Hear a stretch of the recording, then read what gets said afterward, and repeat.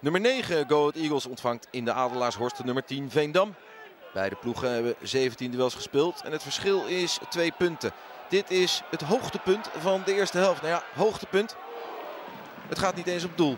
Een hele saaie eerste helft en dus is de ruststand 0-0. In de tweede helft een beter Go Eagles.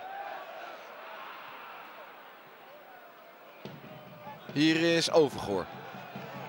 Sandro Schenk komt mee op. Krijgt hij de bal van Overgoor. En let op, prachtige stift.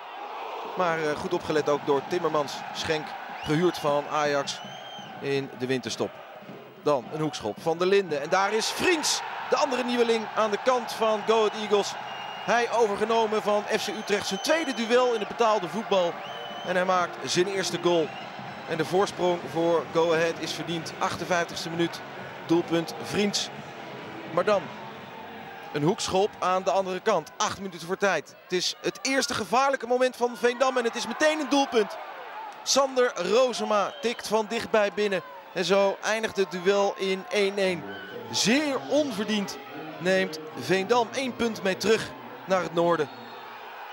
Een tegenvallend resultaat voor het Go Eagles van Erik ten Hag.